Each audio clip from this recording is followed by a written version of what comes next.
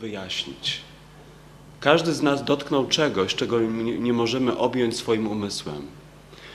E, a więc ludzka istota ze swojej natury porusza się w bardzo ograniczonym obszarze wiedzy. Ta, ta wiedza jest jak wyspa, która unosi się na wielkim, wielkim oceanie. Więc ponieważ przywykliśmy mieszkać na tej wyspie i uznawać ją za cały świat, e, czasem popadamy w pewnego rodzaju złudzenie i arogancję i wydaje nam się, że e, panujemy nad swoim życiem, rozumiemy je, kontrolujemy. A więc e, poprzez tego typu poglądy i przywiązania rozwijamy pewien iluzoryczny pogląd. Wpadamy w pewnego rodzaju iluzję, którą my nazywamy w zen ego. A więc to ego jest pewnego rodzaju złudzeniem. E, Jest ono jak wyspa, która unosi się na wielkim, wielkim oceanie. E, Zen jest bardzo zainteresowany tym właśnie oceanem, ponieważ sama wyspa, istniejąc wewnątrz tego oceanu, jest częścią tego oceanu. A więc czym jest ten ocean? E, W Zenie nazywamy to nie wiem. Więc gdy słyszymy nie wiem, no to co? Brzmi to tak trochę beznadziejnie. Więc e, w Zenie pytamy, czym jestem i odpowiadamy nie wiem. A więc sytuacja jest trochę beznadziejna można powiedzieć. Ale to nie wiem, które e, jakby istnieje w centrum nauki Zen, jest czymś bardzo, bardzo szczególnym. To nie wiem, jak wierzymy, jest bramą intuicji. Właśnie to nie wiem, e, my nie, nie próbujemy udawać, że wiemy. Zen bardzo prosto i bezpośrednio patrzy na to nie wiem i próbuje jakby przejść przez bramę tego nie wiem. A więc w praktyce, w praktyce Zen musimy odrzucić wszelkie wyobrażenia dotyczące siebie i świata. E, A więc musimy odrzucić jakąś koncepcję ja, musimy od- odrzucić jakąś koncepcję utrwalonych wyobrażeń, które zwykliśmy mieć na, e, na temat rzeczywistości i zanurzyć się w to nie wiem. To nie wiem jakby jest duchem e, praktyki medytacyjnej. E, Jest pewna anegdota, którą być może kiedyś słyszeliście, że w pewnej małej studni żyła żaba. I ta żaba e, była bardzo dumna i szczęśliwa z powodu mieszkania w tej studni i uznawała ją za cały świat. E, A więc jej umysł był całkowicie ograniczony i zawężony do rozmiarów tej studni. Ta studnia była dla niej całkowicie wszystkim. Była bardzo dla niej czymś bardzo cennym. I pewnego dnia ktoś zajrzał do tej studni i zaczął rozmawiać z tą żabą. I powiedział jej: e, Słuchaj, żabo, ty mieszkasz w tej studni przez tyle, tyle lat, ale jest w życiu coś, co powinnaś zobaczyć chociaż raz. Coś, co nieskończenie przerasta e, rozmiary twojej małej studni. E, A więc ta żaba no, bardzo się poruszyła, e, bardzo wzburzyło ją, e, wzburzyła ją ta informacja i powiedziała, nie, to niemożliwe, to w ogóle jest jakiś nonsens. Moja studnia naprawdę jest czymś najwspanialszym, największym, czymś jedynym godnym uwagi. I nie ma zamiaru jej opuszczać. Ten ktoś jednak namawiał ją bardzo usilnie. Powiedział, ale uwierz mi, jest naprawdę coś, co przerasta nieskończenie rozmiary Twojej studni. Powinnaś chociaż raz w życiu to zobaczyć. Potem musisz, możesz wrócić do tego miejsca. No i ta żaba, powodowana ciekawością, trochę niepokojem, postanowiła wy, opuścić tę studnię. E, a więc wyruszyła w podróż w ślad za tym swoim przewodnikiem. Nie wiem, być może to był Buddha. e, I pewnego dnia, jak się być może domyślacie, już dotarła na brzeg oceanu. I wtedy, gdy zobaczyła to coś, zaczęła puchnąć, puchnąć, puchnąć, nadmać i po prostu eksplodowała, pękła. E, Doświadczenie e, tego nie- bezkresnego oceanu stało się dla niej czymś całkowicie nie niezrozumiałym. Przerastało wszystko to, czym była do tej pory, a więc po prostu pękła. A więc dla żaby skończyło się to bardzo smutno, E, Ale jak się domyślacie pewnie, ta żaba symbolizuje coś, w, czym jest, w co jesteśmy bardzo uwikłani i w czym zwykliśmy właściwie istnieć. A więc każdy z nas gdzieś tam wewnętrznie, w mniejszym lub większym stopniu jest taką żabą. E, I funkcją praktyki Zen jest spowodowanie właśnie śmierci tej żaby. To proszę mnie nie źle zrozumieć, my kochamy wszystkie zwierzęta, ale istnieje w nas e, pewnego, coś, co możemy nazwać pewnego rodzaju monstrum. Nie zawahałbym się użyć tego słowa, bo jest to monstrum, ponieważ to monstrum e, powoduje, że bardzo się, bardzo walczymy ze sobą, tworzymy jakby od, tworząc odmienne wizje świata, zaczynamy jakby bronić swoich terytoriów i w końcu ten cały świat staje w ogniu i w walce, o czym nie musimy tak bardzo się przekonywać, wystarczy spojrzeć na siebie. Każdy jest przywiązany do tego, co nazywamy ja, mnie, moje. I to ja, mnie, moje jest właśnie tą żabą. Praktyka Zen rzuca rękawice, stawia pytanie, kim jesteś? Czym jesteś właśnie teraz? Jeżeli chce, zechcemy uczciwie spojrzeć na to pytanie, jeżeli, że my chcemy szczerze skonfrontować się z tym pytaniem, wtedy dotrzemy do pewnego punktu, do pewnej, dotrzemy właśnie na brzeg tego oceanu, dotrzemy do prawdziwego nie wiem. Jeżeli to nie wiem zgłębimy, jeżeli to nie wiem zgłębimy, wtedy nasz umysł otworzy się i osiągniemy prawdę tego oceanu, który jest naszą prawdziwą naturą. Więc tą prawdziwą naturę nazywamy naturą Buddy lub e, absolutem. E, tradycje chrześcijańskie może nazywają to Bogiem, e, może jeszcze jakoś inaczej. Wiele, wiele różnych nazw, różne tradycje temu dają. Uniwersalna świadomość, uniwersalna energia, Brahman, Shunyata, Dharmakaya, e, miłość Chrystusa, prawda, e, otchłań Boga i tak dalej. Ale tak naprawdę to są tylko nazwy, które bardzo łatwo stają się częścią naszej studni. Więc Zen musimy odrzucić również to. Musimy odrzucić nawet Buddę i musimy odrzucić Boga. Jeżeli chcemy spotkać prawdziwego Boga, jeżeli chcemy spotkać prawdziwego Buddę, musimy odrzucić również koncepcję Boga i Buddy i wejść w to prawdziwe nie wiem.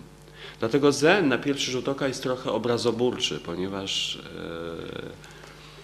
można powiedzieć, jest takie słynne powiedzenie w Zen, zabij Buddę. Z jednej strony kultywujemy coś, co nazywamy umysłem Buddy i w ośrodkach Zen spotkacie ołtarz Buddy, ołtarz, na którym siedzi Budda, wiele ikonografii, symboliki. Natomiast ostatecznym słowem Zen jest zabij Buddę. Oznacza to zabij wszelkie wyobrażenia. Jeżeli chcesz spotkać prawdziwego Buddę, musisz y, zniszczyć wszelkiego rodzaju projekcje, musisz zniszczyć wszelkiego rodzaju przywiązanie do czegoś, co istnieje na zewnątrz ciebie. Wtedy to coś zajaśnieje wewnątrz, otworzy się. Wtedy zrozumiesz, że sam pierwotnie jesteś tym Buddą. Okay? A więc istnieje bardzo piękny, stary chiński wiersz, e, który brzmi mniej więcej tak. Przychodzenie z pustymi rękami, odchodzenie z pustymi rękami to jest ludzkie. Ale skąd przychodzisz, kiedy się rodzisz? Dokąd odchodzisz, kiedy umierasz? Życie jest jak pojawiająca się na niebie chmura, a śmierć jest jak chmura, która znika z tego nieba. Chmura sama w sobie nie ma realnego istnienia, jest pusta. Przychodzenie i odchodzenie, życie i śmierć są również takie jak to. Ale jest jedna rzecz, która zawsze pozostaje czysta. Jest czysta, jasna, niezależna od życia i śmierci, niezależna od przychodzenia i odchodzenia. A więc co jest tą jedną, jasną i czystą rzeczą? Można powiedzieć, że ten krótki, bardzo prosty wiersz zawiera wszystko to, e, co powinniśmy jakby wie, może nie wiedzieć, ale zawiera jakby istotę nauki Zen. Nie tylko istotę nauki Zen, tak naprawdę, gdy się temu przejrzycie, zawiera jakby istotę ludzkiej egzystencji, ponieważ yy, wszyscy wiemy, przychodzimy na ten świat, nie, nie przynosimy zupełnie nic. Odchodzimy z tego świata, również nic z niego nie możemy zabrać. Na zachodzie mamy takie powiedzenie, że trumna nie ma kieszeni, prawda? A więc nic nie możemy z tego świata zabrać, tak jak nic na niego nie, y, nie przynosimy na ten świat. A więc mamy do czynienia z nietrwałością ludzkiej egzystencji. Ta nietrwałość ludzkiej egzystencji jest źródłem jakby naszej frustracji nieustannej. Ludzka istota nie jest niczym innym jak nieustannym pragnieniem, pragnieniem, próbą chwycenia czegoś, przepraszam, woda, i, i zatrzymania tego. Natomiast ponieważ wszystkie zjawiska ze swojej natury są nietrwałe, nie możemy ostatecznie niczego zatrzymać. Dlatego to coś nieustannie odchodzi i wszystko, co nam pozostaje, to gonić wciąż za kolejnym doświadczeniem, za kolejnym jakimś e, obiektem naszego pragnienia. A więc przychodzenie z pustymi rękami, odchodzenie z pustymi rękami to jest ludzkie. Taka jest natura ludzkiego życia. I ten wiersz dalej pyta, ale kiedy się rodzisz, skąd przychodzisz? I kiedy umierasz, dokąd odejdziesz? To są właśnie te rzeczy, których nie jesteśmy w stanie wyjaśnić. Zupełnie. Być może ktoś powie, no tak, przychodzę z łona matki, a umie, gdy umieram, odchodzę na cmentarz. Ale czy na pewno? Czy do końca godzimy się z, z tą prawdą? Czy, czy to stwierdzenie do końca wyjaśnia sens, znaczenie i głębię naszego istnienia? Czy jesteśmy w stanie wyjaśnić zjawisko świadomości i umysłu? Nie jesteśmy w stanie zupełnie tego wyjaśnić. A więc kiedy się nie wiemy skąd przychodzimy, nie wiemy dokąd odchodzimy, kiedy umiar, umieramy.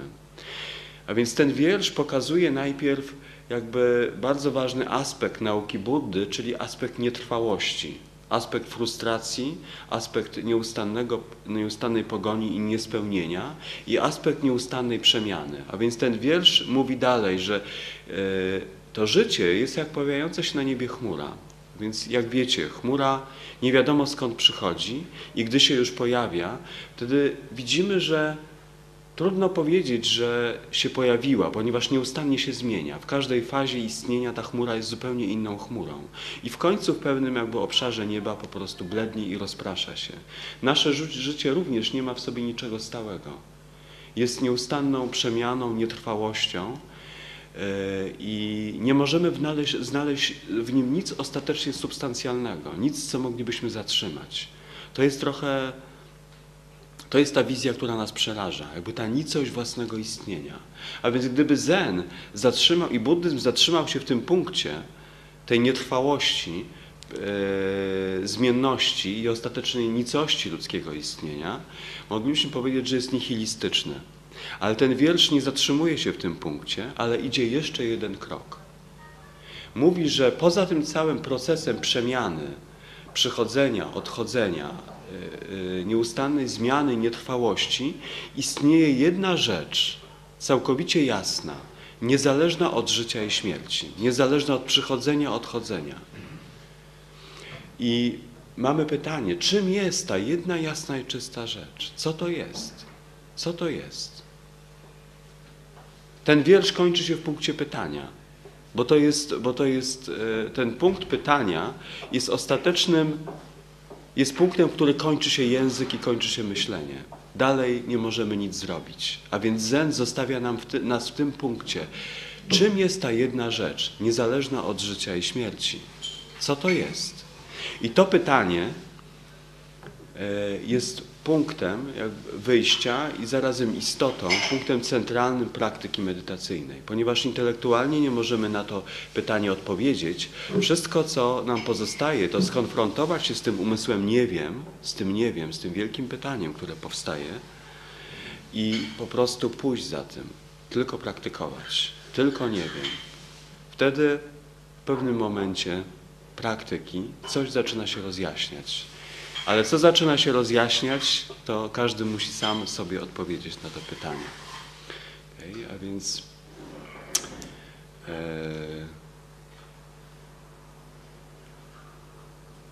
ten wykład potoczy się za chwilkę dalej, ale chciałbym, żeby był wspierany przez Wasze pytania, a więc nie chcę go przegadać, nie chcę wpadać w taki słowotok, żebyście zaczęli za chwilę ziewać, więc pewnie, pewnie skoro tu przyszliście, to macie jakieś pytanie, poza podstawowym pytaniem, kim jestem oczywiście, z którym muszę was pozostawić.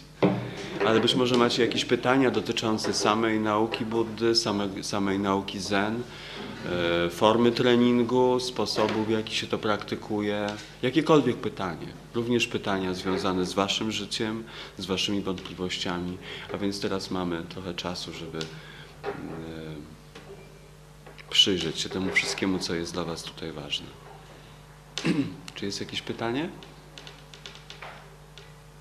Mhm. Czy koncepcja czegoś stałego, co się zmienia i zmienności wszystkich rzeczy nie stoi w sobą sprzeczności? Z czym? Y, Chodzi o koncepcję y, Aha. niezmiennego y, czegoś tam Mhm. Tak. i wszystkiego, całego zmieniającego się świata. Czy to nie jest sprzeczne ze sobą? Eee, czy nie jest, e, czy koncepcja czegoś niezmiennego i... Tak. Mhm, mhm. Wiesz, niestałość może istnieć tylko w kontekście e, stałości, prawda? Mhm. Masz cias, dlaczego masz ciasno, dlaczego czu- czu- czujesz uwieranie swojego buta? Dlaczego but jest ciasny? Dlatego, że, że rozumie, że, że ma doświadczenie wolności. Prawda? A więc światło, możemy zrozumieć światło tylko dlatego, że rozumiemy ciemność, prawda? Jeżeli w bucie cię uwiera coś, to znaczy, że jest możliwość zdjęcia tego buta i przyniesienia ulgi twojej nodze. E, Mhm. Ale masz rację, wszystkie koncepcje są w pewnym sensie sprzeczne. Dlatego y, wszystkie nauki, jakiekolwiek, y, które płyną na, do nas z buddyzmu czy z zen, są pewnego rodzaju mapą. Tą mapę można przestudiować, przyjrzeć się jej przez jakiś czas, ale ostatecznie trzeba ją też zostawić. Hej. Ostatecznie trzeba ją też zostawić. I jakby skierować się ku e, bezpośredniemu doświadczeniu. W Zen bardzo często używamy porównania palca, który, który wskazuje księżyc, a więc mamy palec i mamy księżyc na niebie. Ten palec wskazuje księżyc. Jeżeli zbyt mocno jesteśmy przywiązani do palca, to zupełnie nie zrozumiemy jego funkcji. Funkcją e, palca jest wskazywanie na księżyc, a więc po tym jak zobaczyłeś palec, zobacz też również w którym kierunku on pokazuje i wtedy zobaczysz to coś. Również nauki Buddy, nauki Zen są ostatecznie czymś, co możemy nazwać palcem wskazującym księżyc. Dlatego właśnie Zen, w moim przynajmniej doświadczeniu i odczuciu, jest naprawdę jedną z najwspanialszych nauk na tym świecie, ponieważ jest niedogmatyczny, jest całkowicie wolny od dogmatów. Można powiedzieć, że, że nauka Zen jest czymś, co jest jakby samo się konsumuje. Naszego nauczyciela, gdy pytano, z czym jest buddyzm, to odpowiadał, nie twórz buddyzmu. A przecież był mnichem buddyjskim, nauczał e, nauki Buddy. To jest właśnie to, że nie powinniśmy się za mocno przywiązywać do jakichkolwiek nauk i koncepcji, ponieważ one, jak zauważyłeś słusznie, same w sobie są sprzeczne, ale musimy od czegoś zacząć. Musimy od czegoś zacząć. Ponieważ każdy z, na, z nas, umysłowość ludzka ma pewną jakość intelektualną, w związku z tym nie możemy tego ignorować. E, Musimy dać temu umysłowi pewną mapę, ale potem musimy mu ją zabrać. Okej. Jeżeli ta doskonałość jest tak do, doskonała, jak mi się przynajmniej wydaje, to czy nasz umysł nie powinien się jakby do tego dostosować, jeżeli buddyzm jest prawdziwy Mhm. em, i to wszystko, w co mi- między innymi ja i dużo osób w tej sali wierzy, jeżeli jest tak doskonałe i piękne, to czemu nasz umysł nie potrafi się do tego dostosować? Potrafi. Y, To znaczy potrafi. Dlatego tu przyszedłeś dzisiaj. Y, Tak, tak, ale dlaczego w takim razie musimy zaczynać od tego, mm, od takiej bardziej teoretycznej formy? Dlaczego nasz umysł jest taki, że po prostu musi zacząć od tej teoretycznej Mhm, mhm. formy? Nie musi zaczynać zupełnie. To w takim razie po, po co jest to całe, całe wejście? Sam Pan mówił, że mm, na dłuższą metę Mhm. kończy się to tym, że nawet buddyzm znika, wszelakie koncepcje znikają. Mhm. Mhm. Jeżeli, y, czyli rozumiem, że jest taka potrzeba. prawda? Mhm. prostu musi przejść y, tą, tą fazę. I pytam, dlaczego tak jest, jeżeli, jeżeli nasz umysł ma tak doskonałą na, naturę? Ma doskonałą, na, doskonałą naturę, ale jest jednocześnie uwikłany. Jest jednocześnie uwikłany. Dlatego, jeżeli jesteś chory, to musisz e, wziąć lekarstwo. E, Jest taki, taka znana historia e, w kolekcjach, które naz, zwanych konganami. Kongany to są pewne historie, które się wydarzyły kiedyś mistrz, między mistrzem i uczniem. To są tradycyjne kongany, prawda? Z których wynika jakaś, jakiś problem, jakieś pytanie wymagające jakby przyjrzenia się i rozwikłania, przeniknięcia. Nasze życie też nam stawia takie naturalne kongany. E, Ale wracając do tego, co- chcę powiedzieć. Pewien wielki mistrz Zen Un Mun powiedział kiedyś do swoich uczniów, e, choroba i lekarstwo leczą się wzajemnie. Cały wszechświat już jest wielkim lekarstwem. Gdzie jest Twoje prawdziwe ja? A więc bardzo ważne są te pierwsze słowa. Choroba i lekarstwo leczą się wzajemnie. Na przykład, gdy jesteś chory, no, załóżmy na grypę, i lekarz przepisuje ci lekarstwo, prawda? No nie ma wyjścia, jesteś chory, więc musisz to leczyć. A więc pojawia się lekarstwo jako element towarzyszący tej chorobie. I zaczynasz, go, zaczynasz to lekarstwo zażywać. Wtedy zauważysz podwójne zjawisko.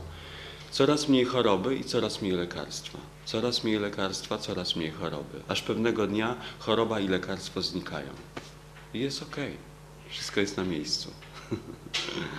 A więc ponieważ nasz umysł ma pewną skłonność, ma, po, posiada jakby tą czystą natura, naturę, ale jednocześnie posiada pewną skłonność, e, nie wiem dlaczego.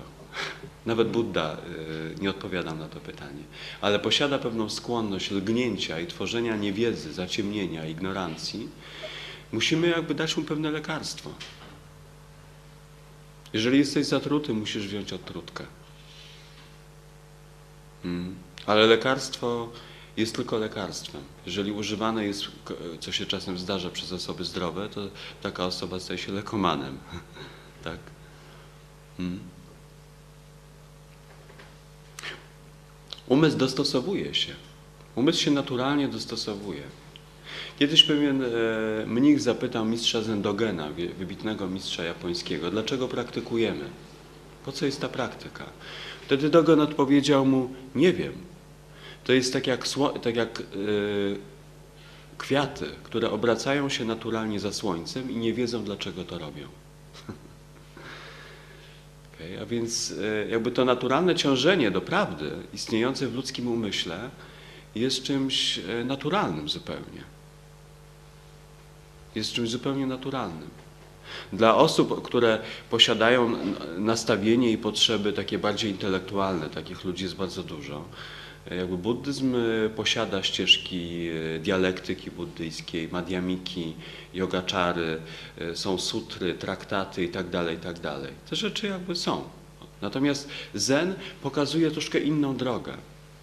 Co nie znaczy, że nie można tymi rzeczami się zajmować, jeżeli ktoś ma taką potrzebę.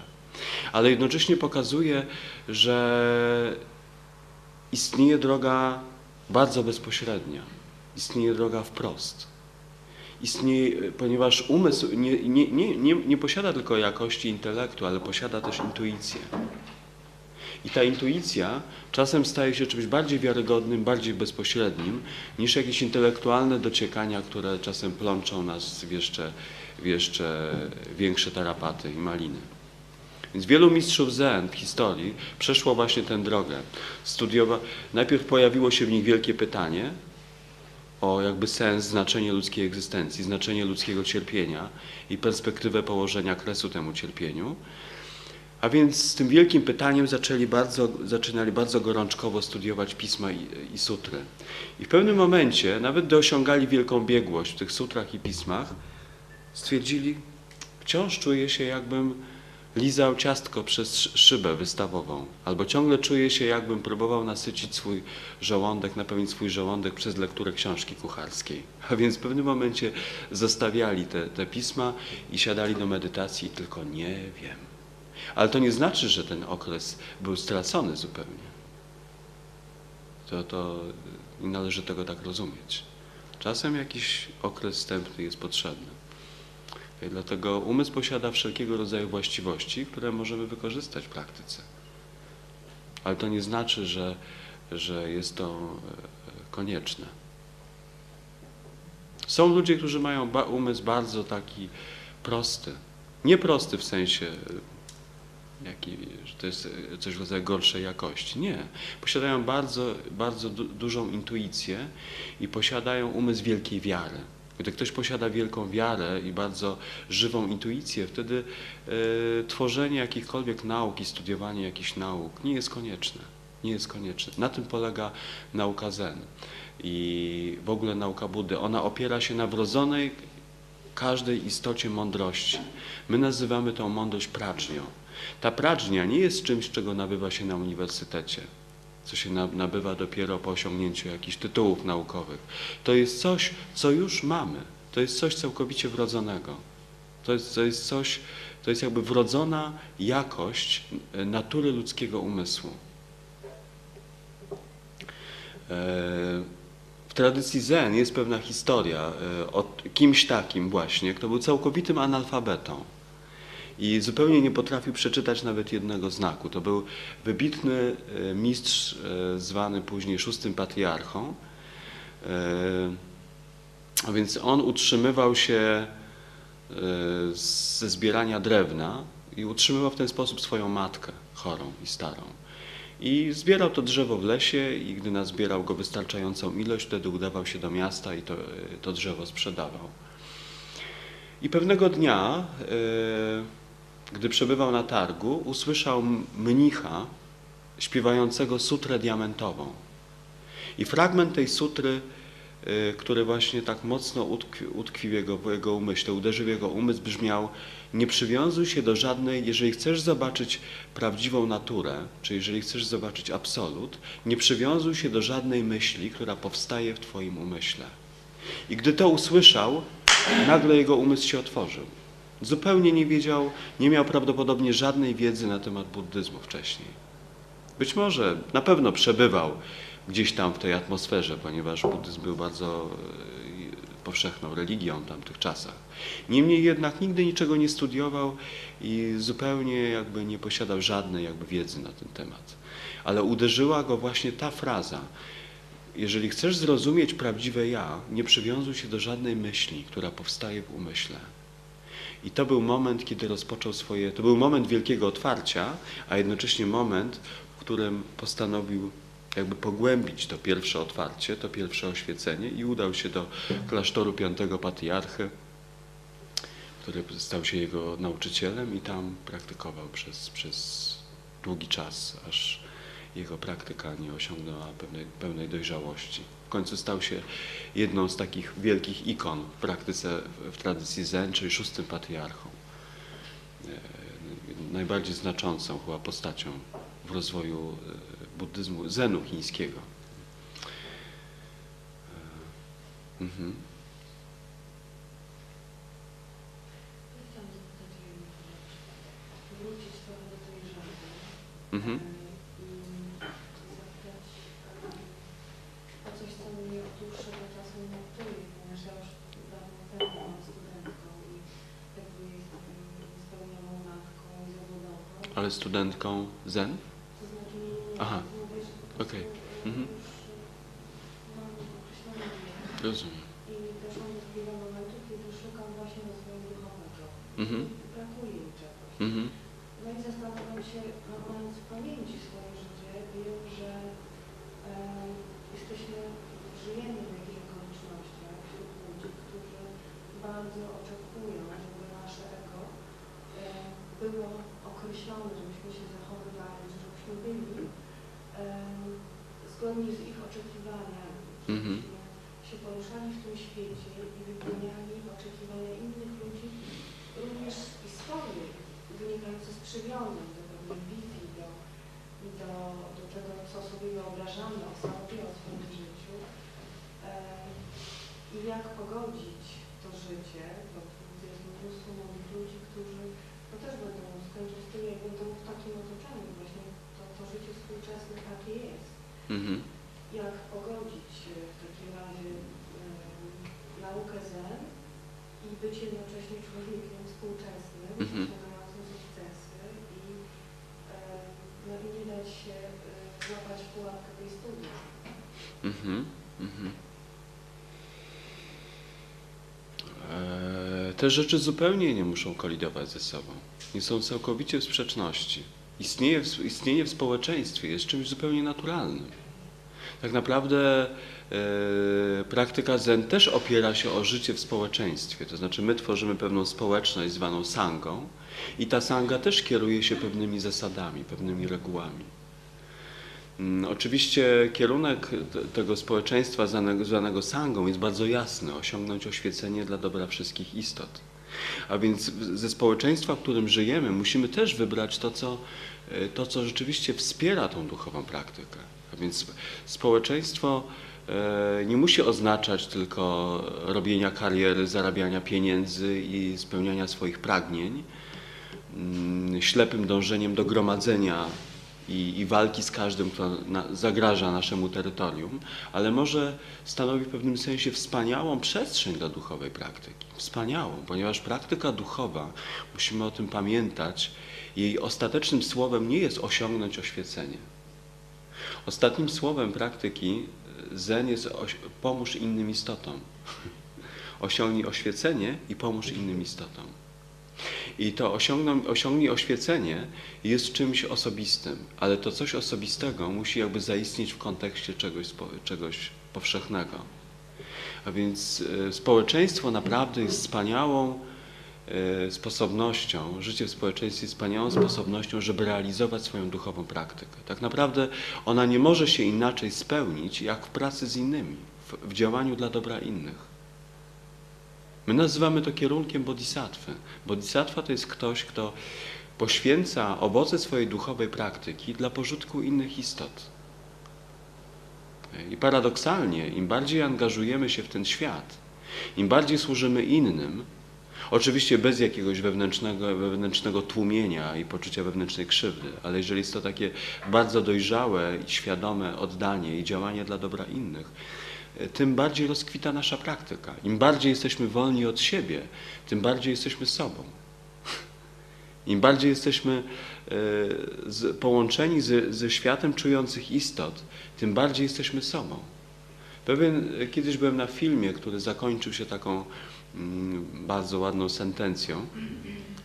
Taki lama, najpierw jest e, pokaz takiej ceremonii tybetańskiej, pan tańca, no ale to, to jest już jakby inna rzecz. Natomiast na, pod koniec tej ceremonii ten lama, który celebrował całą tą, e, całą tą uroczystość, jedzie sobie na takim osiołku, no i tak podjeżdża do kamery i mówi: Buddyjska recepta na szczęście jest bardzo prosta. Jeżeli pragniesz szczęścia dla siebie, nigdy go nie znajdziesz. Jeżeli go, zna, pragniesz go dla innych, znajdziesz je również dla siebie.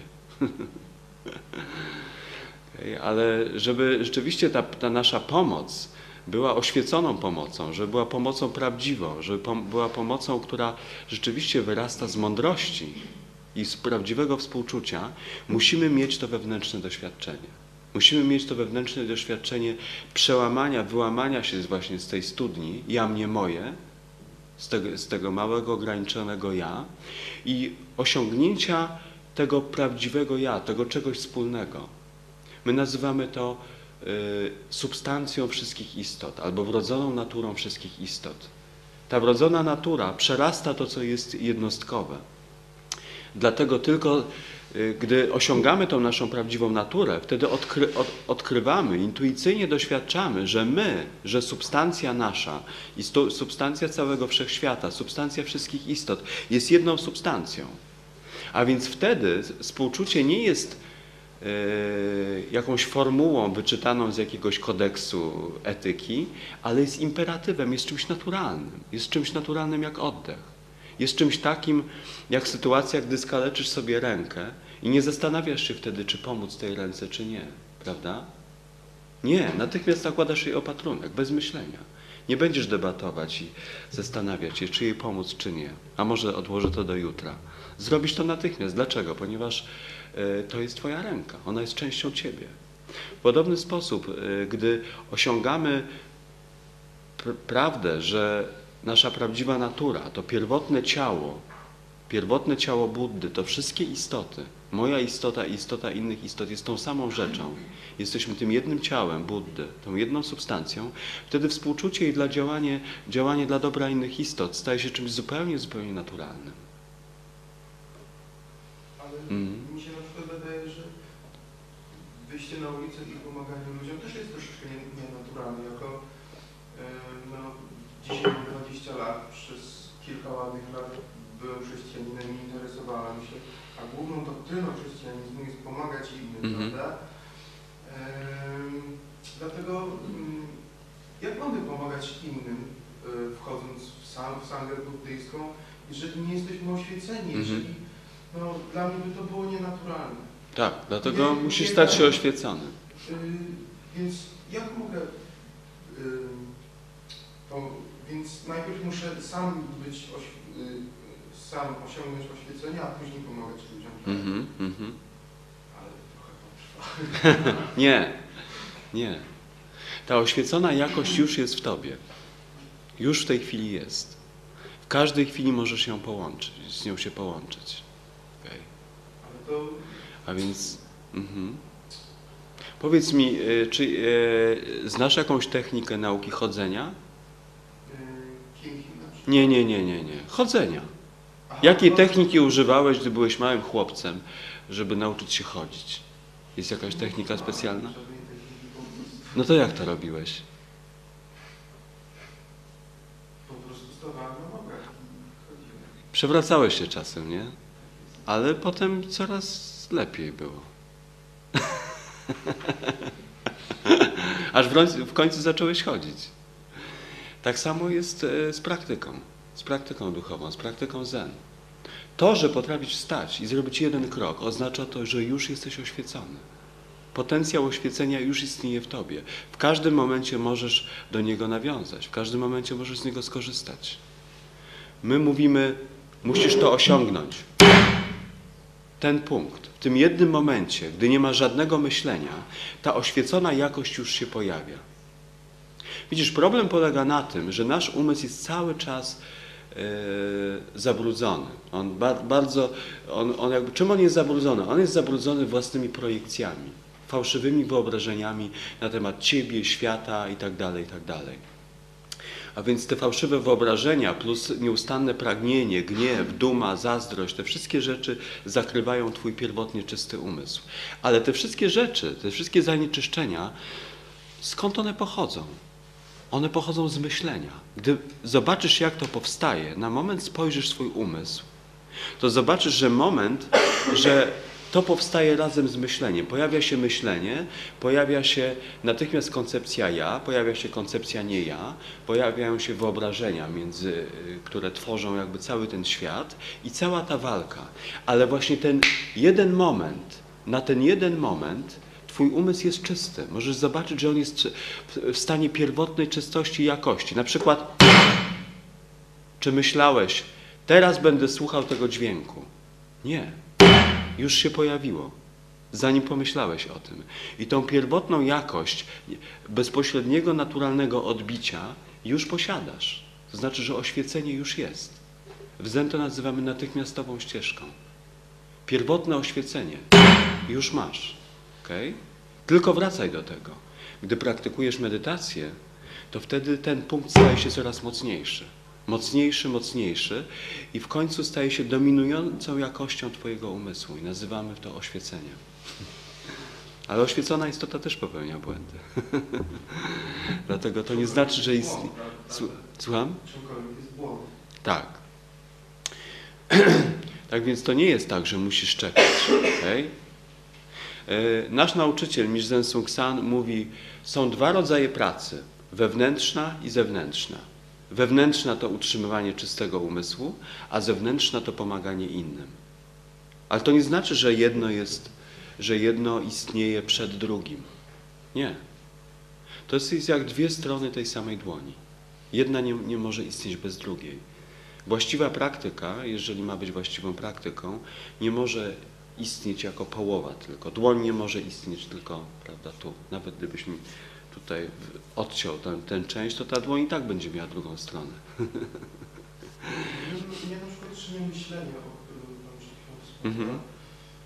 Kojarzy mi się z takim zamienianiem się w jakąś, no mnie się osobiście to kojarzy z taką ślepą mumią, która Mhm. kiedyś w starych filmach albo filmach animowanych po prostu chodziła i Mhm. wiernie, no jako człowiek... To myślenie, tak? Tak, to nie myślenie. Nie myślenie. Nie myślenie. Mhm. Kojarzy mi się A mnie się myślenie kojarzy z taką mumią.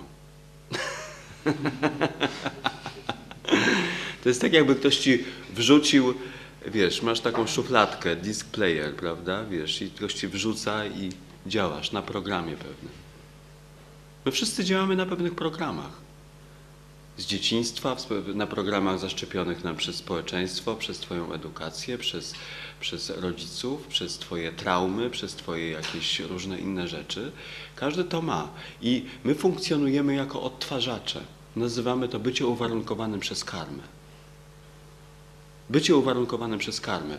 Praktyka Zen pokazuje, że Twój umysł posiada jeszcze jedną jakość. I to jest, ta właśnie jakość jest zupełnie czymś przeciwnym od, do tego, co Ty mówisz. Właśnie to jest stan przebudzony. Wiesz, jest pewna historia, która może pomoże nam to zrozumieć. E, ona wydarzyła się naprawdę i to wcale nie gdzieś dawno temu w Chinach albo w Tybecie, tylko w Stanach Zjednoczonych, na Florydzie, gdzie rozgrywają się regularnie wyścigi psów, hartów. No i wśród tych hartów była taka suka, bardzo bystra. Yy, Nazywała się Clear Mary, czysta Mary, jasna Mary. I ta suka była faworytem większości wyścigów. No, yy, także no, rzeczywiście była rewelacyjna. No, kosztowała majątek, ogromne pieniądze i właściciel jej za, zarabiał duże pieniądze yy, na tych wyścigach. No i kiedyś pewnego dnia taki wyścig właśnie się rozgrywał. No i to jak to, nie wiem czy wiecie, jak wyglądają te, te wyścigi tych hartów, więc na sygnał kogoś tam otwierają się boksy i automatycznie zaczyna się z ogromną prędkością e, po tej bieżni por- poruszać królik. Nasycony no, specjalnym zapachem, który jakoś stymuluje zmysły, zmysł węchu psów. A więc te psy, psy gonią, robią wszystko, żeby dopaść tego królika. Ale oczywiście sytuacja jest beznadziejna, bo pan sobie siedzi w jakiejś tam oszklonej budce, no i cały czas podkręca prędkość i oczywiście nie mają szans. No i oczywiście pies, który, który najbardziej się starał, wygrywa. ale, ale nie może wygrać tak naprawdę e, ostatecznie, ponieważ królik wciąż nie jest złapany. Okay? A więc pewnego dnia e, właśnie padł strzał, psy wybiegły. Clear Mary wysunęła się na, na, na czoło, a więc właściciel rozluźnił się bardzo, czuł, że znowu już konto zacznie puchnąć. I w pewnym momencie stało się coś niewyobrażalnego, coś, co nie zdarzyło się nigdy dotąd podczas wysiłku psów. Ta suka nagle zatrzymała się. Stanęła jak wryta. Wszystkie psy pobiegły, a ona została i stoi i patrzy. I zaczęła przyglądać się temu, jak ten królik, otaczając właśnie tą bieżnię, w pewnym momencie znalazł się mniej więcej po przekątnej. Pobiegła, e, przecięła ten stadion, tę bieżnię wskroś, prze, odcięła drogę królikowi i go pochwyciła. Więc oczywiście ludzie stracili pieniądze, w ogóle zapanowała rozpacz, a jednocześnie ogólna wesołość, bo stało się coś naprawdę niezwykłego. Co się tak naprawdę stało? Clear Mary się przebudziła, zobaczyła, ktoś mnie robił bambuko tutaj. O co chodzi? Mnie nie interesuje tylko kasa mojego pana, ja chcę mieć królika. Muszę coś, coś, coś z tego mieć. A więc zaczęła się uważnie przyglądać sytuacji. I w pewnym momencie ciu, to jest dokładnie to. My wszyscy jesteśmy e, uwarunkowani tym, co w buddyzmie nazywamy karmą. Niezależnie od tego, czy tą karmę będziemy interpretować jako sumę poprzednich naszych żywotów, czy wierzymy w reinkarnację, czy nie wierzymy w reinkarnację, to jakby ma drugorzędne znaczenie. Ważne jest to, że nasza świadomość jest uwarunkowana i ponieważ jest uwarunkowana, nie może jakby wydostać się z pułapki, ponieważ poruszamy się cały czas w obszarze studni, tylko tego, co znamy. Żaba tylko zna obszar swojej studni, niczego więcej nie zna. Okej, może jest bardzo zamożną żabą i pewnego dnia poszerzy jakby swoją studnię i powie, no teraz jestem wielką żabą, byłam żabą, teraz jestem wielką żabą. Może zacznie kolekcjonować przepiękne kamienie drogocenne, może, może jakieś gadżety, prawda, może mm, nie wiem, no, breloczki z dziobu bociana czy coś w tym rodzaju. Ale jest wciąż żabą, która żyje tylko w tym obszarze. I to wszystko, co możemy zrobić. Umysł nie wiem, umysł niemyślenia właśnie jest tym momen- momentem, kiedy na, mom- kiedy na jedną chwilę otwiera się coś i do Twojego umysłu wpływa nowa jakość. Nowa jakość. Może na moment nawet tego nie zauważysz. Nie zauważysz momentu, w którym to się stało. Ale odkryjesz, że po sesji zen jesteś trochę inny. Że trochę inaczej, jaśniej, trzeźwiej e, patrzysz na, na świat. Że Twój umysł nie lgnie, nie przykleja się tak do, do, do wszystkiego. Nie jesteś niewolnikiem tych wszystkich projekcji i myśli, które tak mocno wpływały na Twoje życie. Że Twoja satysfakcja i szczęście nie zależy tak bardzo już od tego, gdzie jesteś, kim jesteś, co masz, czego nie masz, co zyskałeś i co straciłeś. Że płynie ona jakby z wewnątrz. Przejawia się jako rodzaj wewnętrznego takiego promieniowania i światła. To nie jest światło zależne od myślenia. To jest światło niezależne od wszystkiego. Niebo, jako ta przestrzeń błękitu, istnieje niezależnie od tego, czy płyną po nim chmury, czy nie. Niezależnie. Jest całkowicie wolny od tego. I właśnie tę jakość posiada e, nasz umysł w swojej, w swojej naturze. Mhm. A więc e, zastanów się, co nazwiesz Frankensteinem, a co nazwiesz prawdziwą, prawdziwym człowiekiem. Mm, Czy w takim razie mm, doznał tego oświecenia? Czy Tak? Tak, oczywiście. Czy, czy Miło mi Cię widzieć. Jak... Pan- to, to moje oświecenie dzisiejszego wieczoru. Y, Czy w takim razie jest jakiś rozwój, jest coś dalej? Dalej? E, Jak Pan się rozwija? Obawiam się, że, że się zatrzymałem. Brzmi strasznie. Strasznie.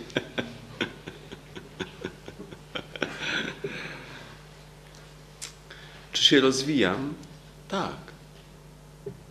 Próbuję, jak mogę najlepiej, rozpoznawać błędy swojego życia i ich nie powtarzać, ich nie eliminować. Praktykuję cały czas. Ale czy jeżeli... Osi... Przepraszam, że, że wciąż zadaję pytania, które mogą być upierdliwe, ale Aha. Może damy szansę za chwilę innym, dobrze? Bo to się zrobiło takie trochę spotkanie przy piwie, prawda? Bardzo miłe, ale, ale może inni mają pytania. Tak, coś, coś ważnego jeszcze. Aha. Jeżeli w takim razie po osiągnięciu oświecenia nie, brak tej koncepcji, ym, brak jakiejś koncepcji, w takim razie nie ma koncepcji ani błędu, ani sukcesu, więc są błędy. Więc, co? Mówi Pan, że y, Mhm. zauważa swoje błędy Mhm. i stara się je Tak, omijać. tak. Pytam, jeżeli nie ma koncepcji, to w jaki sposób pojawia się koncepcja błędu? Nie ma koncepcji, ale jest błąd. Nie rozumiem. Jak- Jeżeli, jeżeli podstawisz komuś nogę, to, to nie jest koncepcja, to jest fakt. Ktoś sobie rozbija głowę i to na pewno jest błąd z Twojej strony. Ale to może być rozumiane. Dobrze. Nie. Koncepcja nie jest potrzebna. E, Pewien wielki nauczyciel innej tradycji, Jezus Chrystus, powiedział: Poznaj drzewo po owocach. Nie ma złego drzewa, które wydaje dobre owoce. I nie ma dobrego drzewa, które wydaje złe owoce. Dobrze? A więc owoce Twojego życia są e, dla Ciebie instrukcją. Okay? Są dla Ciebie informacją. Dlatego bardzo ważne jest, właśnie tak jak tutaj Pani wspomniała o życiu w społeczeństwie, bardzo ważne jest życie w społeczeństwie. Dla nas osobiście, znaczy dla nas osobiście, przepraszam, dla, jakby dla nas y, jako sangi, bardzo ważna jest właśnie sanga.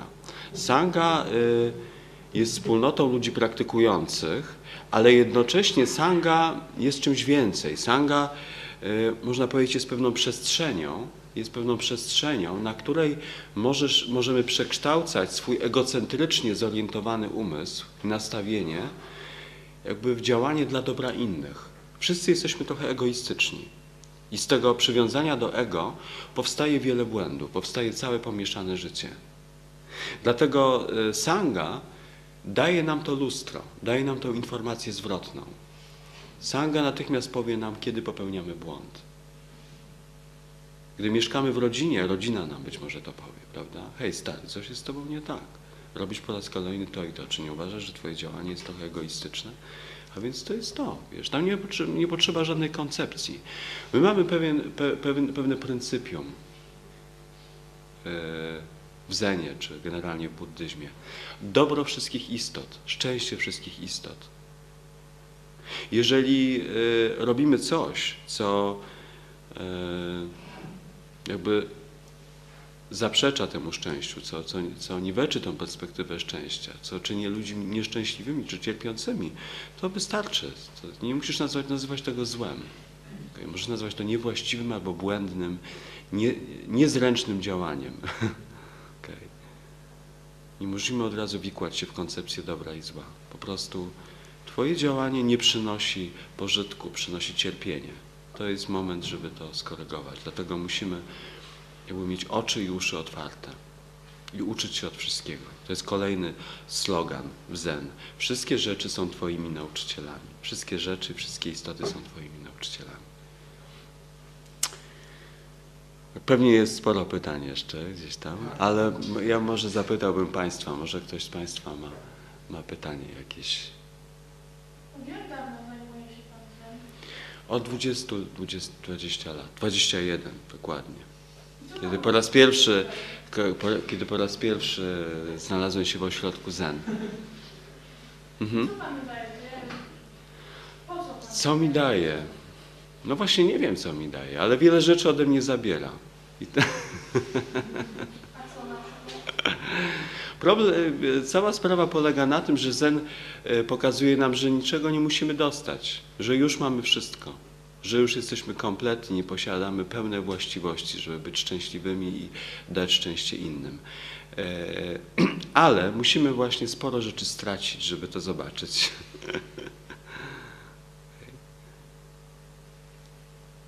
A więc Zen zabiera ode mnie wiele rzeczy niepotrzebnych.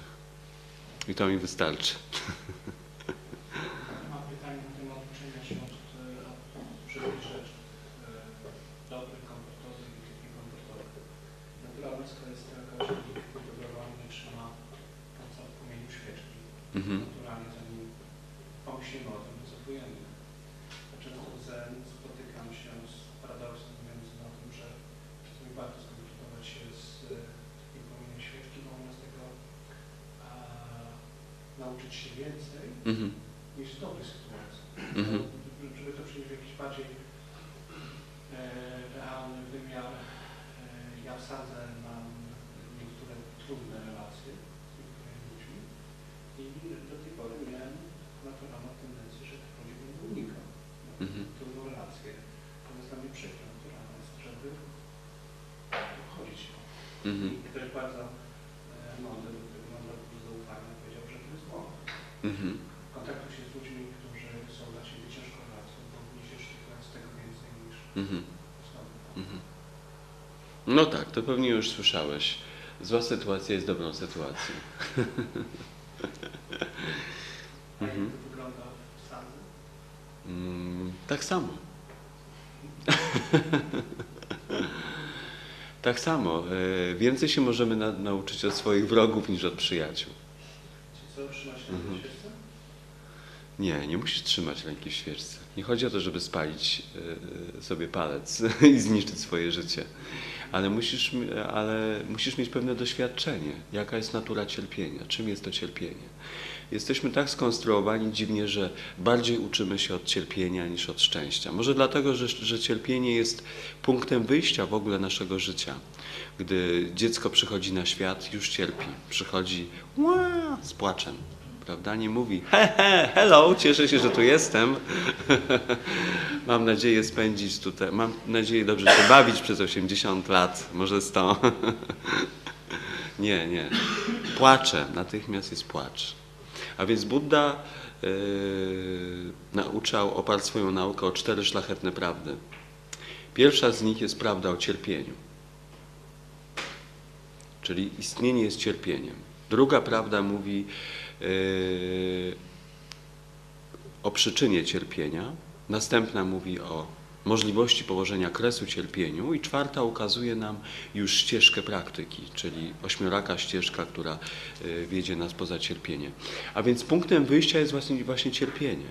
Dlaczego? Dlatego cierpienie jest jakby, to nie jest naprawdę, Buddha, Buddha to cztery, to są cztery szlachetne prawdy, cztery szlachetne prawdy, czyli cierpienie jest szlachetną prawdą, szlachetną prawdą. Nie powinniśmy e, panicznie unikać cierpienia, ale powinniśmy docenić tą szlachetną prawdę.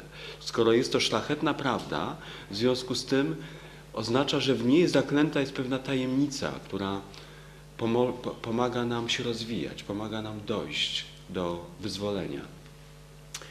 Ktoś powiedział, że pierwsza faza cierpienia to jest przebudzenie się ku, ku cierpieniu. Ktoś, kto mówi, że nie cierpi, dla mnie jest kłamcą. Nie wierzę takiej istocie. Są ludzie, którzy twierdzą, prawda? Keep smiling, prawda? E, Wszystko jest pod kontrolą, dużo pieniędzy i tak dalej, i tak dalej. Nie cierpię. To jest rodzaj snu. To jest rodzaj snu. Pierwszy moment e, to jest rodzaj nieszczerości. Pierwszy moment budzenia się to jest przebudzenie się ku cierpieniu. Musimy uznać istnienie tego faktu. To, to jest e, bardzo proste. Kiedy za długo siedzę, chcę wstać. Kiedy za długo stoję, chcę usiąść. Kiedy leżę na jednym boku, chcę się przekręcić na drugi bok. Kiedy za dużo jem, jestem przejedzony. Kiedy za mało jem, jestem głodny. A więc to, ta niesatysfakcja, to cierpienie, mm, ja bym powiedział o bardzo elementarnym poziomie cierpienia, właściwie co towarzyszy nam cały czas. Pewien rodzaj nieusatysfakcjonowania. W buddyzmie nazywa się to dukkha. Dukkha, czyli właśnie, za chwilkę, mhm. nieusatysfakcjonowanie. Nieusatysfakcjonowanie. I to y, musimy się ku temu przebudzić. Musisz poczuć właśnie, że y, tą ciasność swojego buta, te, te, te zbyt ciasne buty o dwa numery, żeby mieć ochotę w ogóle zdjąć ten but.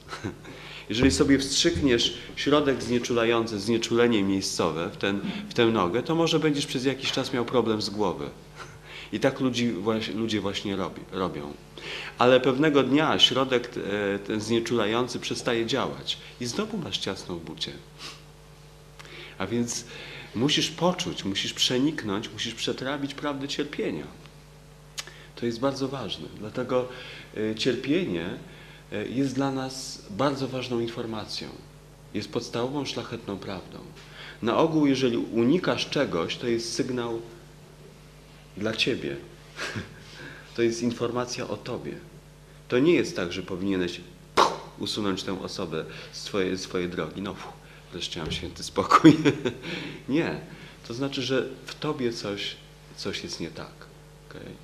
Wszyscy to mamy.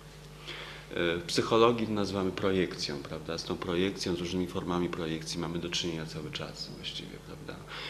E, Wydaje nam się, że świat jest e, jakiś tam, na przykład fioletowy, ale to odkrywamy, że mamy fioletowe okulary na nosie. A więc ten fiolet nie przychodzi z zewnątrz, ale jest jakby w nas. E, Jest jakby kondycją naszych oczu w danym momencie. E, Dlatego powinniśmy się uczyć. Właśnie na tym polega to uczenie się, że przeszkody, które natrafiamy, są informacją o nas, o nas samych. Wszystkie rzeczy są pierwotnie puste. To brzmi jak dogmat, no ale niech będzie. Trochę dogmatyzmu. wszystkie rzeczy są, w buddyzmie wszystkie rzeczy są pierwotnie puste i wszystkie rzeczy są pierwotnie prawdą i wszystkie rzeczy są pierwotnie Buddą. A więc jeżeli unikasz czegoś, to znaczy, że nie spotykasz Buddy w tym momencie. Twoje, twoje widzenie nie jest czyste. Ktoś, kto ma czyste widzenie, nie unika niczego. Absolutnie. Ponieważ wszystko jest Buddą. Wszystko jest formą istnienia Buddy. Wszystkie rzeczy są puste, oznacza, że są wolne i puste od tych wszystkich rzeczy, które próbujemy na nie nakładać. A więc y, zen, przebudzenie zen oznacza widzenie rzeczy dokładnie takimi, jakie one są. Gdy widzisz, rzeczy dokładnie takimi, jakie one są, wtedy, wtedy nie masz potrzeby unikać niczego, ponieważ widzisz ich prawdę. Dlatego ja wiem, sanga jak już rozmawialiśmy wielokrotnie, pewnie słyszałeś, to jest, to jest właśnie ten kocioł pełen tych ziemniaków.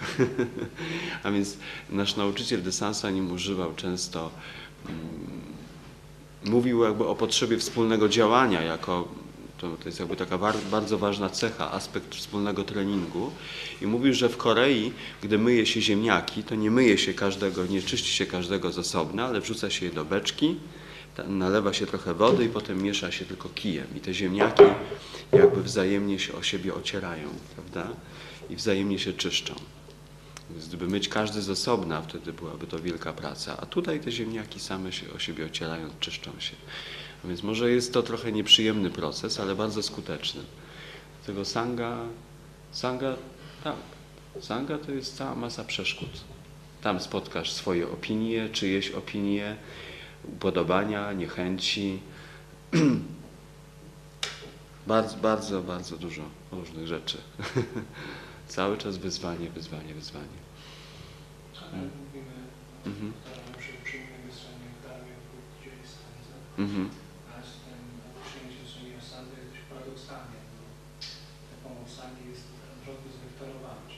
Nie, nie, nie tylko. Nie przesadzaj.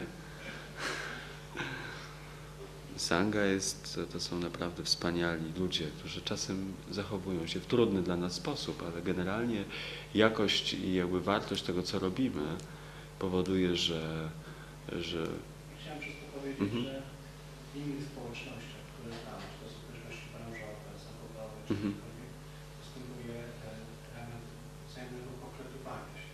mhm. Sądzę raczej ciężko liczyć na poklepywanie, co nie oznacza, Mm. że nie można liczyć na pomoc. Nie bądź zgorz- zgorzkniałym człowiekiem. Ja ci dzisiaj poklepię. Mogę nawet teraz. O, tu masz przyjaciół, poklepcie gra Maćka, niech się poczuje lepiej chłopak. Nie mówi więcej, że Sanga go nie poklepuje. Tam było jakieś pytanie dalej jeszcze. Mhm. Chciałam zapytać, jak się stosunkuje ten e, Dalai Lama słynny do, e, za, do e, wy- dostawania świeżawy z, e, z tego, z tej e,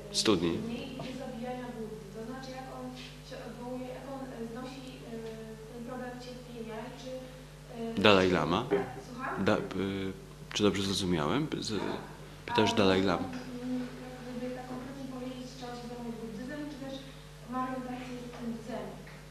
E, buddyzm i zen to jest to samo. To jest, zen jest jedną ze szkół buddyzmu. E, Dalaj Lama należy do odłamu tybetańskiego, do tam konkretnej szkoły Gelugpa, która też pracuje swoimi metodami. Każda szkoła, każda tradycja wypracowała jakąś linię metodyczną w swoim treningu, ale to wszystko opiera się na tej samej nauce.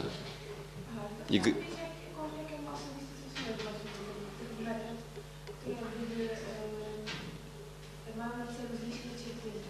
I e, jeśli chodzi o e, za- zabijanie tego Buddy, zostawianie się żaby e, z tego Mhm. tej, Studni.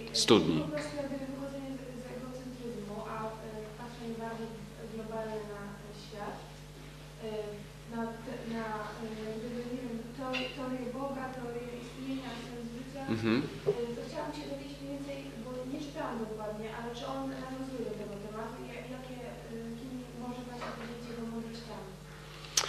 Ja e, wolę podzielić się swoją skromną mądrością niż wielką mądrością Lamy. To wszystko, co mogę ofiarować dzisiaj wieczór. Natomiast mogę powiedzieć, że Dalaj Lama i jego poglądy są reprezentatywne w ogóle dla całej postawy buddyzmu. I pewne pryncypia są e, takie same dla wszystkich szkół buddyzmu. E, różnią się metody. Natomiast nauka, która leży u podstaw tego, jest, e, jest taka sama. Mhm. Czyli Pan jakieś emerytury, tak? Słucham? E, tego Dalaj Lamy.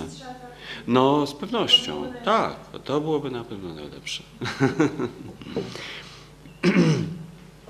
Znaczy, gdyby, gdybyś potrafiła jakby powiedzieć, e, bo wymieniłaś wiele rzeczy, także nie wiem, jakiś, jedną rzecz, mo, może będę potrafił Ci odpowiedzieć. No chodzi o sens Po kolei, bo Wspólnie według buddystów sens życia. Sens życia e, to zależy od Ciebie. Mm. To zależy od Ciebie. Jeżeli y, dla mnie ono jest, jak mogę Ci pomóc. Hmm? Mogę?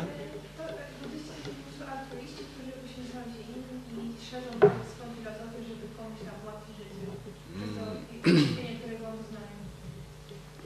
Buddyści po prostu nie chcą mieszkać w studni. A skoro już nie chcą mieszkać w studni, wtedy muszą zaakceptować życia poza studnią, czyli ze wszystkimi innymi.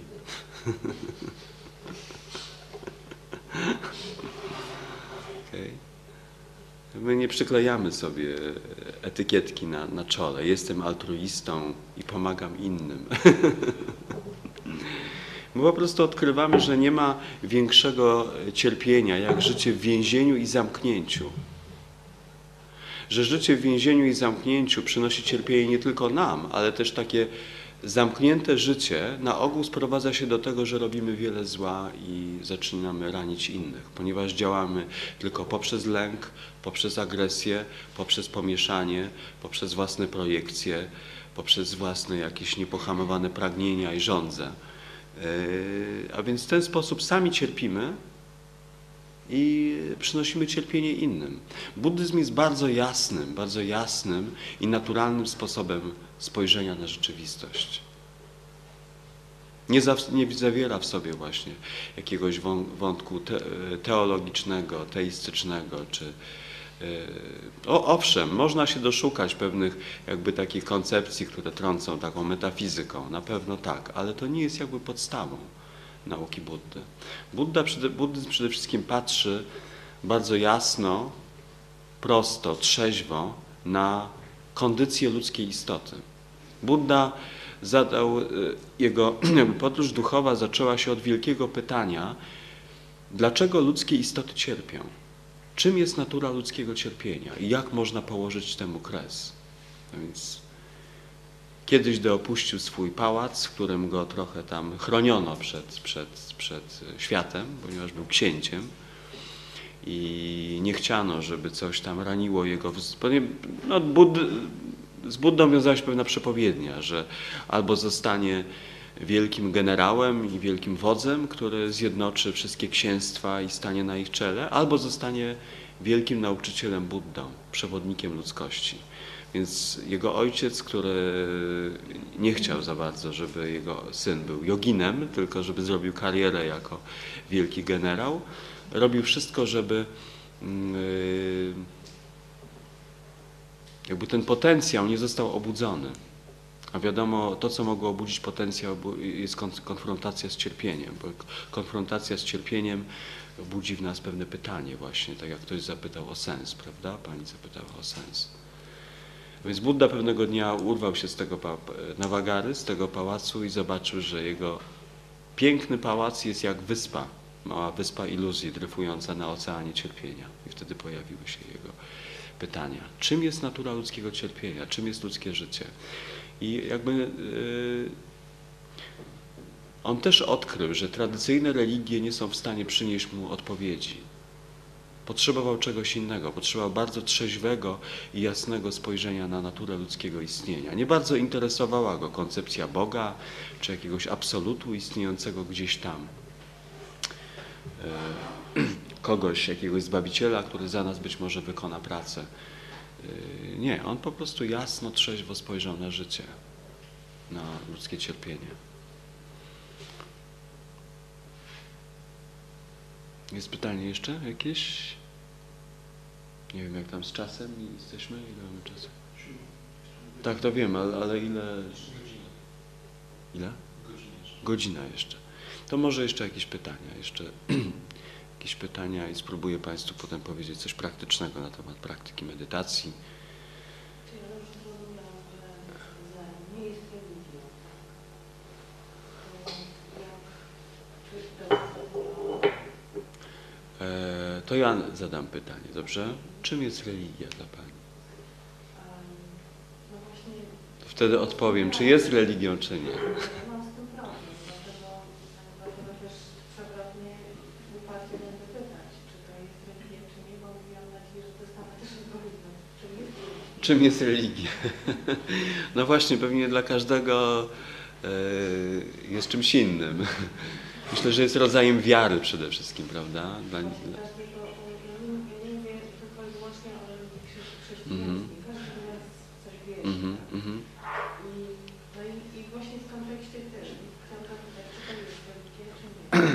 No. No, to, to zależy właśnie jak na to spojrzymy, ponieważ są religie, które tak naprawdę, gdy przyjrzymy się im, to tak naprawdę nie znajdziemy nic poza gorsetem różnych przepisów i dogmatów, włącznie z tym, co należy jeść, a czego nie należy jeść i w który dzień należy iść do pracy, a w który dzień należy zostać w domu, jakie ubranie należy założyć, a jakiego nosić nie wolno. I to wszystko ludzie nazywają religią.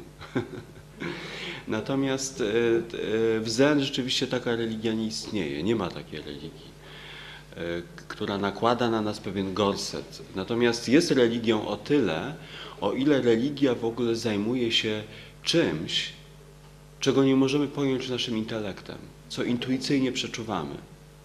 Jest religią o tyle, o ile y, religia w ogóle jest, może być czymś praktycznym i może być bezpośrednim spotkaniem. A więc e, religi- Zen nie jest zainteresowany tylko wiarą w naturę Buddy, jest zainteresowany urzeczywistnieniem natury Buddy. Ale rzeczywiście, jeżeli e, w ogóle chcemy wystartować na tej ścieżce, to musimy mieć pewien, pewien element wiary, musi być w naszym, w naszym życiu. Musi być, on jest, on jest rzeczywiście konieczny. Ta wiara, że jesteśmy czymś więcej, prawda? Że, e, że e, życie jest jak chmura, która się pojawia, potem znika, prawda? Więc jest nietrwała. Nicość. Ale jest jedna rzecz, która pozostaje czysta, jasna i czysta, niezależna od życia i śmierci. I tutaj już mamy do czynienia z pewnym elementem, który możemy nazwać religijnym. Czyli istnieje, e, zakładamy, afirmujemy jednak coś, czego nie możemy pojąć naszym intelektem, a co wierzymy możemy urzeczywistnić poprzez duchową praktykę. Dlatego e, ta, ta, ta jedna jasna i czysta rzecz wyraża się poprzez pewną formę religijną w kultywacji. A więc gdy wejdziemy do sali darmy, to zo- zobaczymy posąg Buddy na ołtarzu. Możemy powiedzieć, no jak to? Ktoś mi powiedział, że to nie jest religia, a ja czuję się jak w kościele, tylko że buddyjskim, prawda? E, Ale jeżeli zrozumiemy, co ten posąg symbolizuje, to wtedy spojrzymy na to trochę inaczej. Ten posąg na ołtarzu symbolizuje nasze prawdziwe ja, naszą prawdziwą naturę, nasz potencjał. Jest e, symbolem tego, czym naprawdę jesteśmy.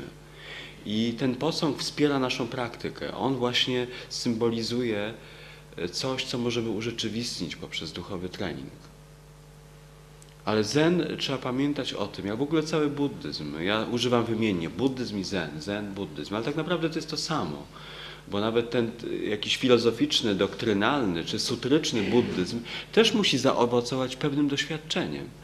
Buddyzm jest bardzo praktyczny i to doświadczenie jest właściwie takim pryncypium. I, yy, i w tym sensie jakby ta, to, co, naz- to, co jest wiarą, musi stać się doświadczeniem. Musi stać się doświadczeniem. Więc y, gdy ktoś nam mówi, gdy pójdziesz tutaj, masz mapę, pójdziesz tędy i tędy i tędy, tu będzie skrzyżowanie, skręć w lewo, pójdziesz teraz tak i tak, tam będzie taka, takie wzgórze, a więc musisz przejść przez to wzgórze i spotkasz las. Potem przejdziesz przez ten las. Gdy wyjdziesz przez ten las, to yy, znajdziesz jakby trzy takie drzewa rosnące razem. I u podnóża tego drzewa środkowego, gdy wykopiesz, znajdziesz skarb. Wow. A więc na początku musimy wysłuchać tych instrukcji i musimy mieć pewną wiarę, że to w ogóle ma sens. Może, możemy powiedzieć, nie, nie wierzę w żadne skarby, nigdy, nigdy tam nie wyruszę. No to już czyjś indywidualny wybór. Natomiast ktoś, kto wyrusza na ścieżkę praktyki, rzeczywiście e, musi poczuć się najpierw nędzarzem. Musi poczuć, nie, moje życie jest nie, nie jest w pełni satysfakcjonujące. Wszystko w porządku, ale to nie jest możliwe, żeby to był e, jedyny sens mojego życia, więc musimy poczuć się trochę jak nędzarz. Wtedy nędzarz będzie miał motywację wzbogacenia się. Wtedy wysłucha instrukcji i być może wyruszy w podróż. Ale jeżeli poprze, po, poprzestanie na studiowaniu mapy, to też tego nie osiągnie. A więc wiara w to, że ta mapa mówi prawdę, jest niewystarczająca. Musimy wyruszyć podróż i musimy rzeczywiście dotrzeć do tego środkowego drzewa z tych trzech, rzeczywiście to wykopać i wtedy to coś stanie się naszym doświadczeniem. Mm. Dlatego w tym sensie na pewno jest religią, e, że zakłada, pokazuje nam drogę do czegoś, co możemy, co nie może zostać pojęte lu- ludzkim umysłem. Również nie mieści się w kategoriach no, tego, co nasza zwykła świadomość zwykle uznaje za coś użyteczne lub nieużyteczne, prawda? Mamy takie na ogół bardzo utylitarne podejście do życia. Coś jest przydatne, albo coś nie jest przydatne, albo zyskam, albo stracę, a więc te kategorie tutaj nie działają. Tutaj jakby musi pojawić się zupełnie nowa jakość w naszym umyśle. I w tym sensie być może jest religią, ale nie jest religią w, se, w sensie przyjmowania na wiarę pewnych dogmatów i e, bronienia ich za wszelką cenę ogniem i mieczem.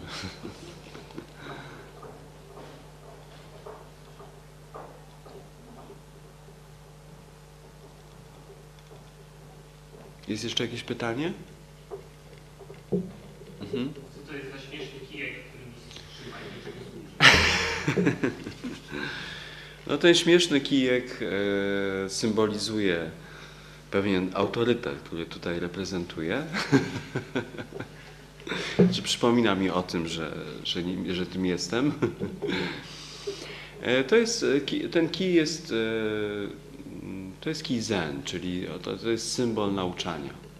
Czyli ktoś, kto zostaje formalnie nauczycielem, formalnie potwierdzonym nauczycielem, otrzymuje taki kij, no, albo po prostu otrzymuje prawo do używania takiego kija i powinien jakby z nim się poruszać wszędzie tam, gdzie wygłasza darmę.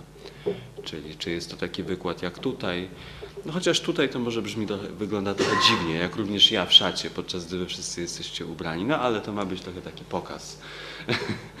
Ten fragment, jestem, jestem fragmentem tej egzotyki zen, można powiedzieć, tutaj.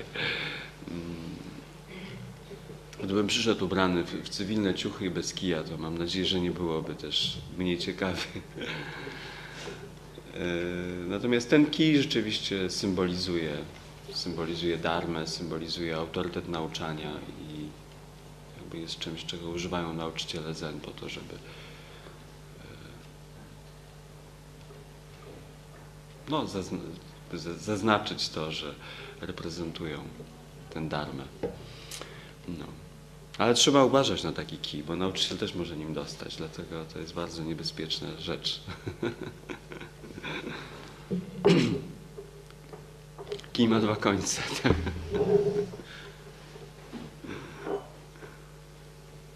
że pozycja nauczania nauczyciela też zobowiązuje go i, i przypomina o tym, że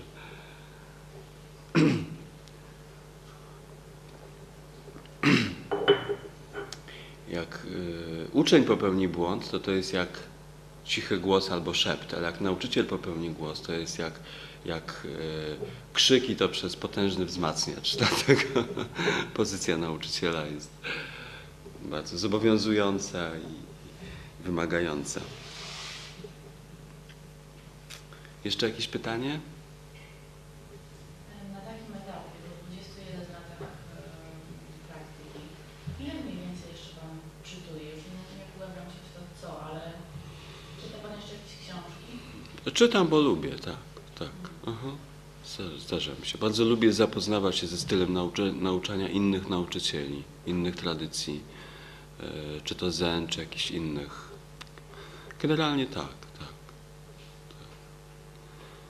Ale coraz częściej mam wrażenie, że to wszystko już było.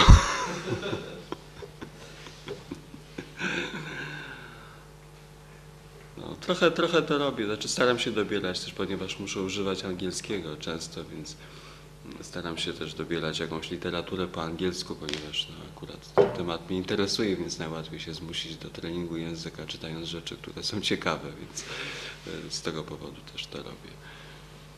Ale sam też czasem potrzebuję wsparcia. Potrzebuję wsparcia i dlatego odniesienie się do czegoś prawda, przypomnienie sobie, że jest, jest dla mnie jakimś wsparciem. Jest dla mnie jakimś wsparciem. Także. No, Problemem nauczyciela e, jest to, że czasem e, jest takie powiedzenie syndrom ostatniego szańca, że za swoimi plecami nie masz już nikogo. Uczeń to zadzwoni, przyjdzie na sesję, y, pyta nauczyciela, więc ma do kogo się odnieść. Nauczyciel często już nie ma. Dlatego. Mhm, proszę. Ja mam takie pytanie. Słyszałem, że Zen, jeżeli nauczyciel twierdzi, że jest oświecony, to jest to mocno podejrzane. Mhm, dlatego ja tego nie mówię. Ale znaczy, z kontekstu wypowiedzi w pewnym momencie można było e, takie wrażenie odnieść, Aha. e, że e, Pan powiedział, że jest oświecony. Znaczy, przypuszczam, że niektóre osoby na sali mogły odnieść takie wrażenie, że ta dyskusja przybrała taki charakter, po prostu... Czy ja jestem oświecony?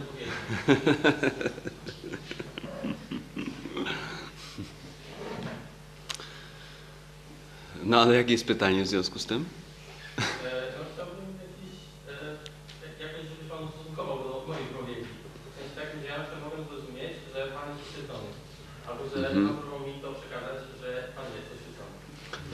Na pewno nie jestem oświecony. To nie mam z tym nic wspólnego.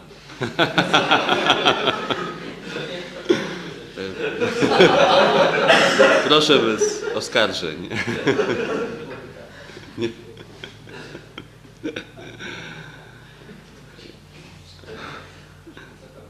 Jakiś wyjątkowy nowy trend, mowa ta, fragment.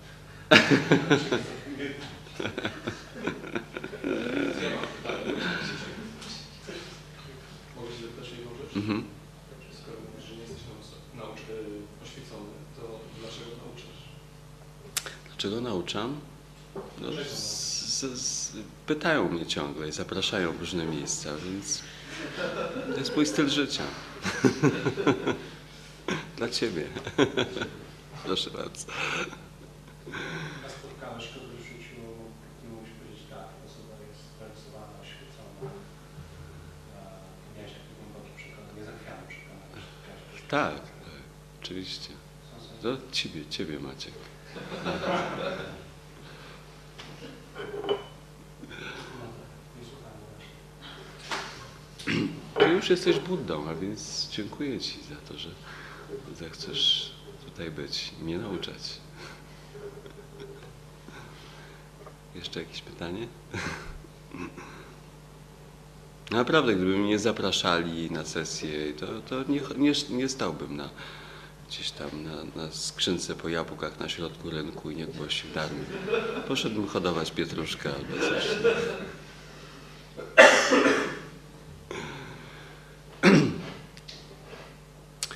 Więc jest pewna zasada y, w nauczaniu darmy. Nie, nie wygłaszać darmy nikogo, y, kto, to popro, kto o to nie poprosi. I nie, nie odmawiać nikomu, kto o to poprosi. A więc trzymam się tylko tego. Ale muszę przyznać, że daje mi to wiele radości i w dużej mierze robię to dla siebie, bo jeżeli człowiek odkryje coś, co zmieniło całkowicie jego życie, jakość jego życia, jeżeli osiągnął szczęście na jakiejś ścieżce, to w naturalny sposób chce się tym dzielić z innymi. Dlatego bardzo cenię sobie swoją pracę nauczyciela. Nie żebym kwestionował Pana mądrość, ale jak można nauczyć czegoś, czego się nie doświadczyło? A co masz na myśli? No, mm, mówi Pan o oświeceniu, mówi Pan o, um, o doskonałej naturze Buddy, a sam jej Pan nie doświadczył.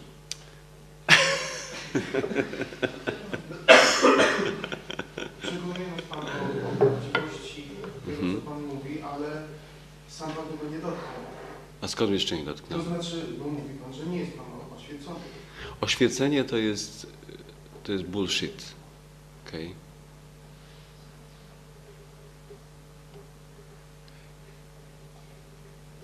To jest herbata.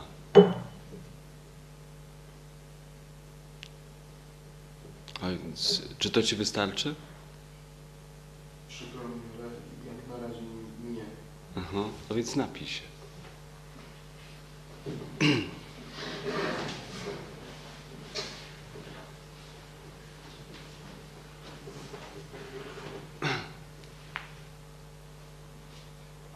Hmm?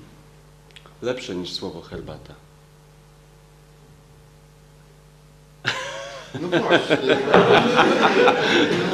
Okej. Być może zrozumiem.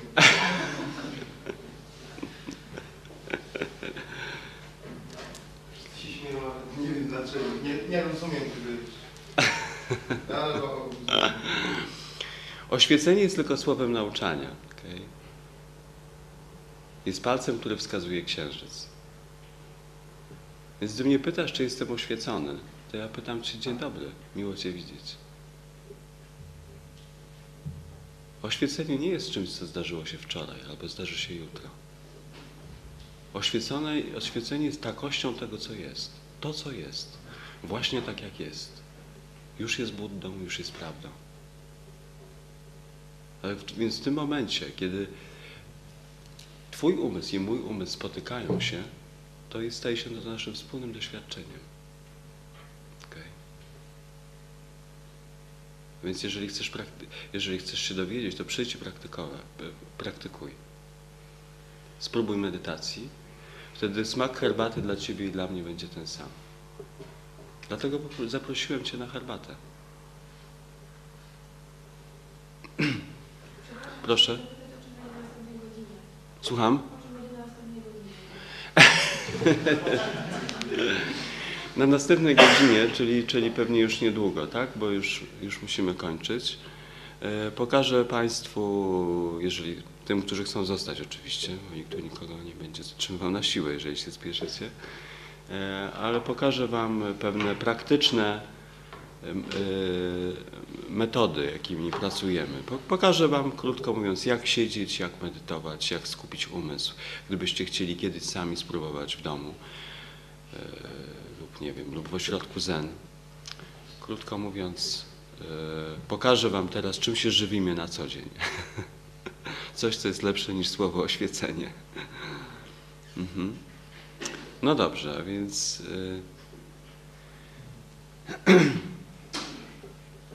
Dziękuję za uwagę i spotkamy się za kilka minut. Ja zmienię szatę na bardziej wygodną, krótkie ubranie i jeżeli ktoś. Tak? Jeszcze jakieś pytanie? Taką nauczycielem. Mhm. Jeszcze raz. Praktykuje Pan 21 lat, tak. Po 14 latach. W 2000 roku. Wskazania? Pięć wskazań, tak?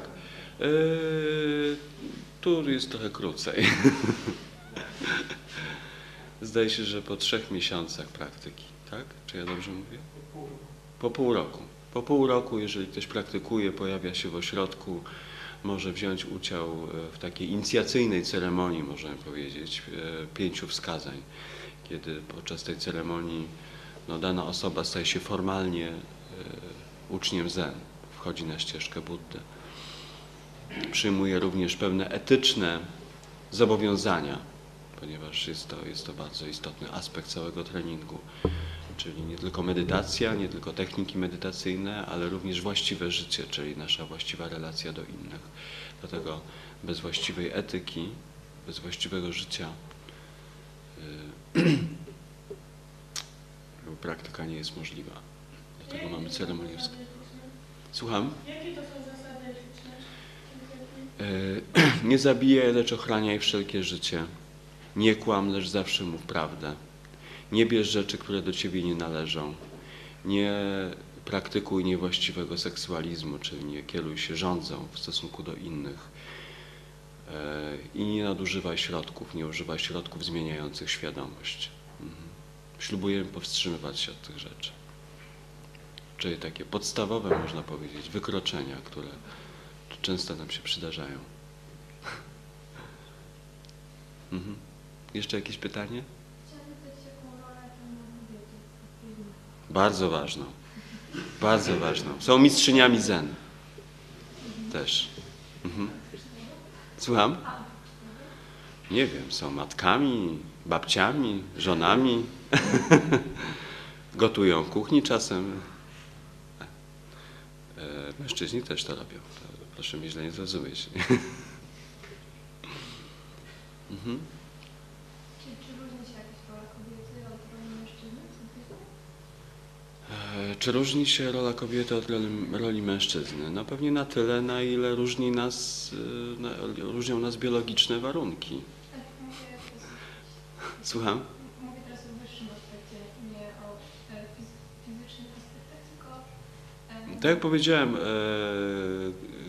kobiety zostają nauczycielkami, mistrzyniami zen, tak samo jak mężczyźni. Mhm. Zostają mniszkami, tak, mężczyźni zostają mnichami, także Najczęściej są ostrzejsi.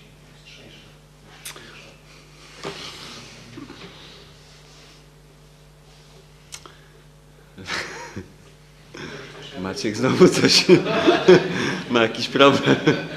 Jest to jeden jedyny stawy mojego uczenia na temat że istnieje ideał równouprawnienia. Faceci też. społeczności, to jedyne miejsce, w którym jest absolutnie najmniejszego przejawu Ale coś, coś w tym jest, coś w tym jest, masz rację. Kiedy przyszedłem po raz pierwszy do ośrodka Zen, to było 21 lat temu, to e, mieszkała tam taka pani, która w tej chwili mieszka w Anglii. No, ona prakty, praktykuje chyba wciąż. I mówiła, Zen to przede wszystkim dyscyplina.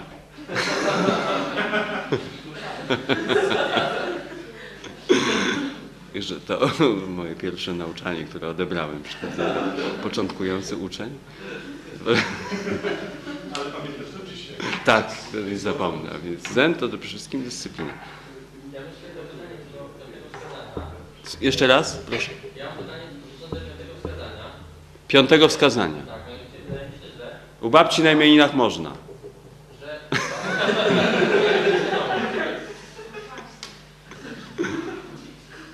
Uważam, że herbata jest substancją zmieniającą świadomość. Naprawdę? Nie zauważyłem. Aha. Pomyślę o tym, wiesz. No widzisz, dlatego powiedziałem, że nauczyciel wciąż popełnia błędy.